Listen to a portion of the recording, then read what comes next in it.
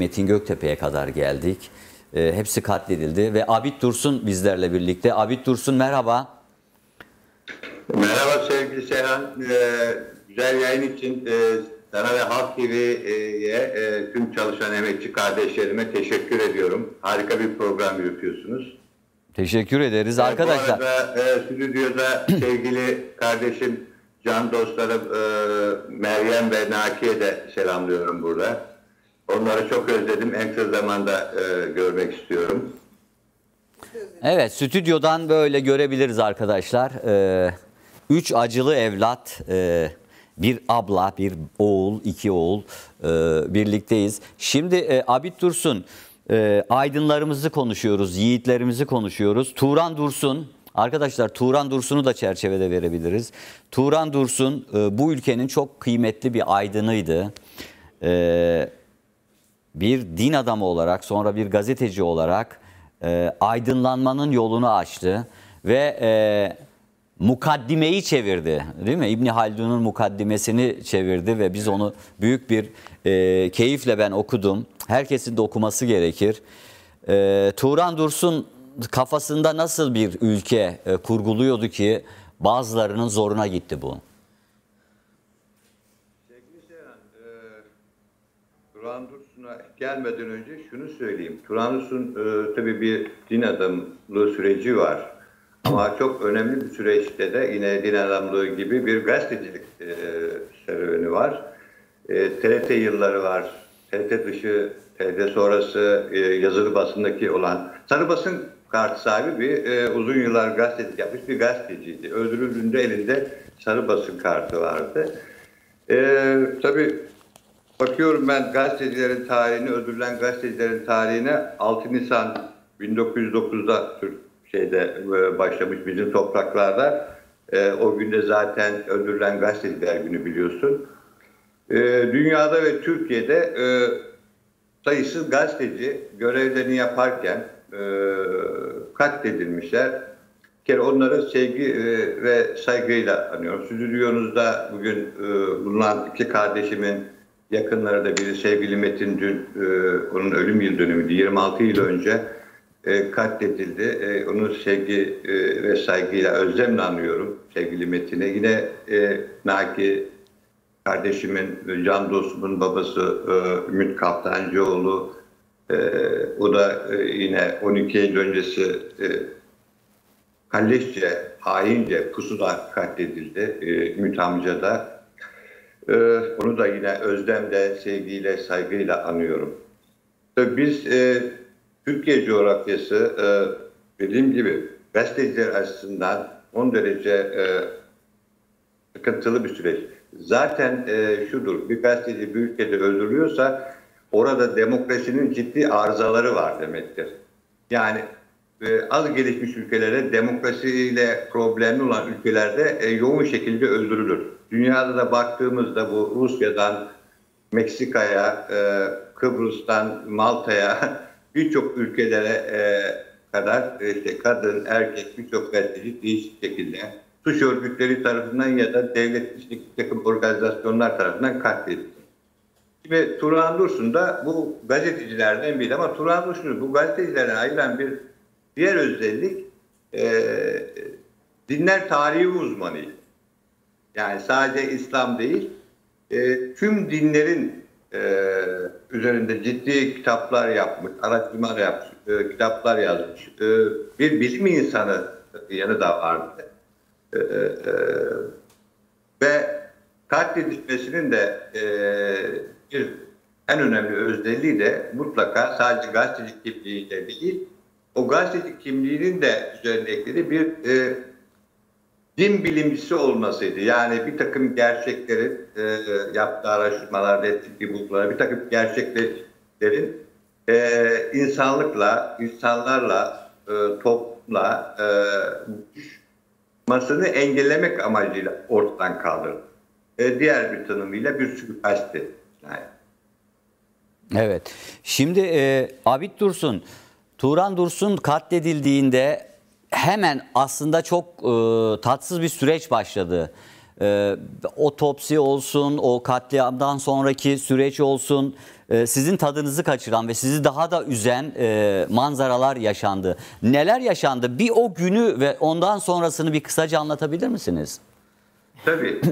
Sevgili Seren, e, olay şu, yani 4 Eylül 1990'a e, e, gelirken e, diğer aydınlarda, diğer e, katledilen e, aydınlarda yaşanılan e, olay bize de yaşandı. İşte tehditler yoğun bir şekilde, e, çeşitli vesileyle yapılan telefondu, mektuptu, e, kimi araçlarla yapılan tehditlerdi.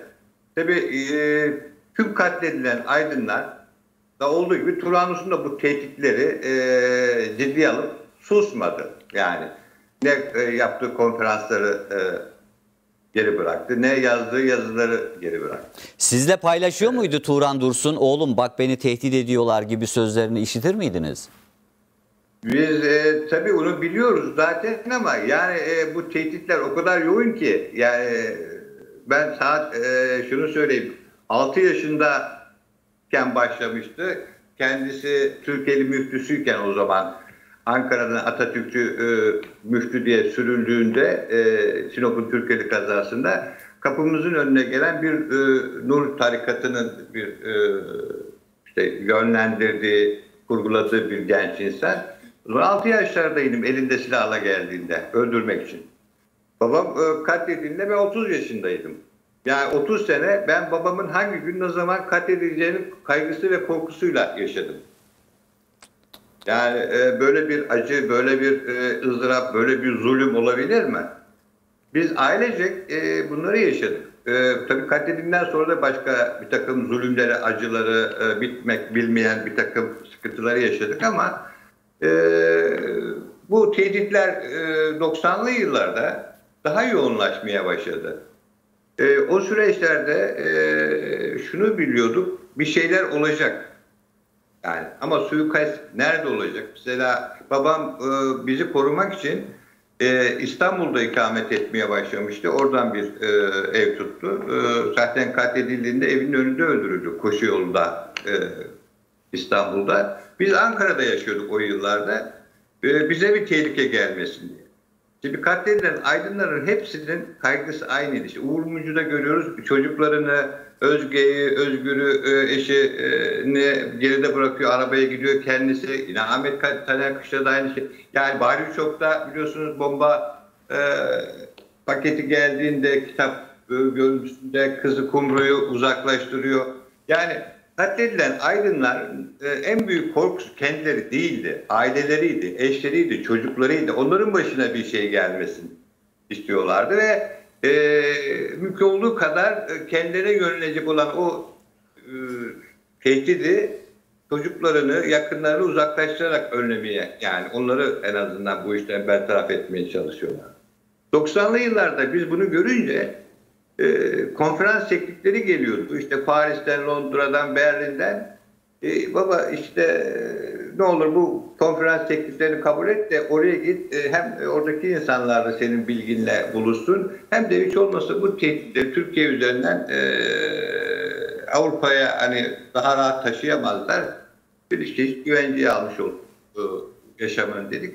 E, güzel zor ikna etmiştik. Yani o konferanslar nedeniyle.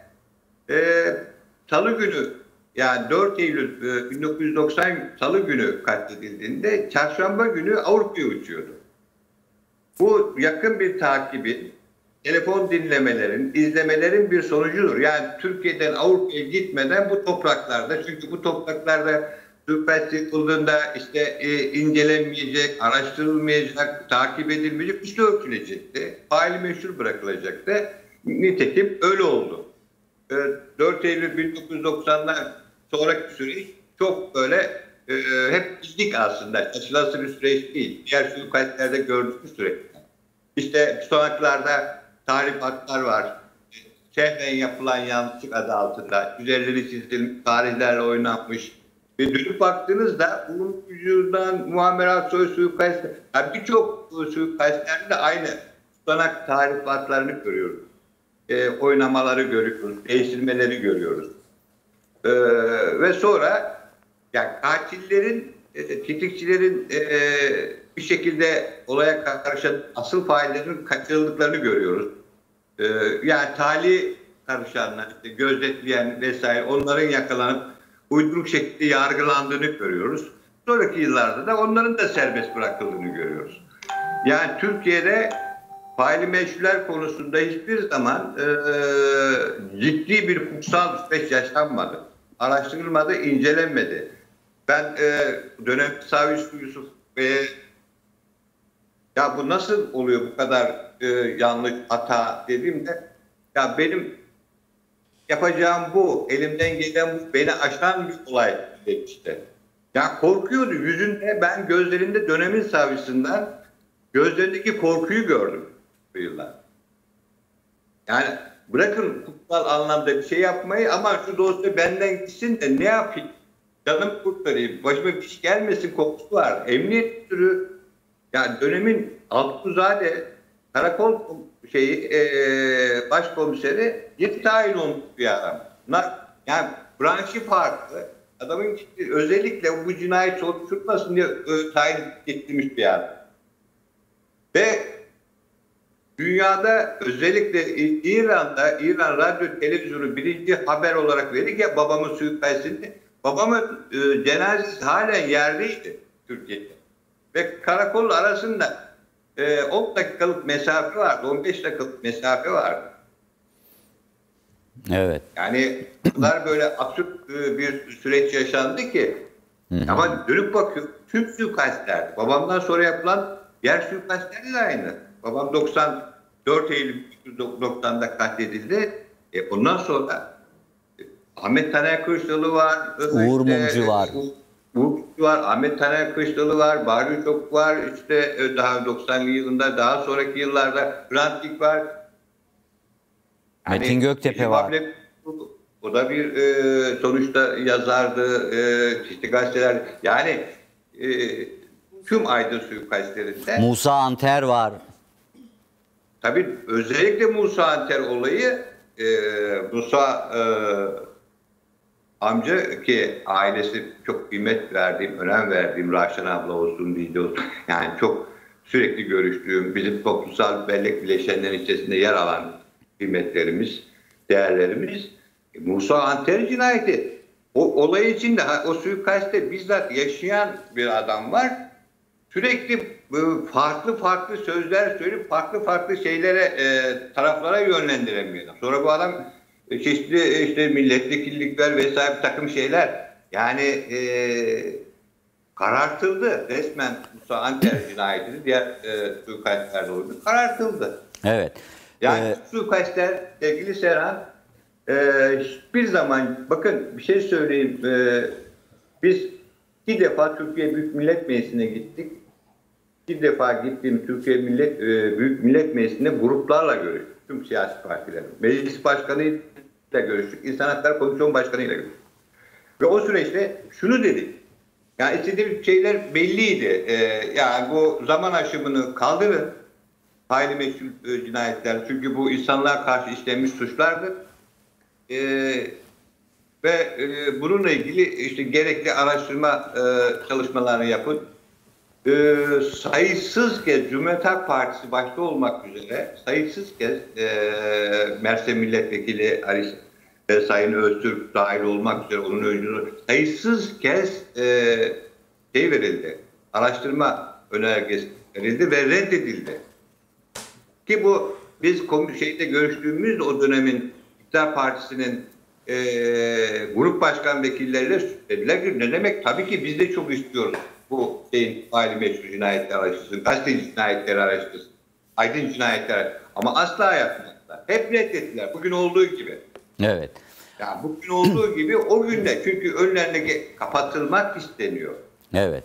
Abid Bey, Ve bugüne kadar çözülmüş tek gazeteci e, ya da aydın e, cinayeti faili meçhul e, suikasti aydınlatılmış yoktur. Bir tek yok. Bakın dava, bu davalar şurada. Onlar hep fasaksu davalar.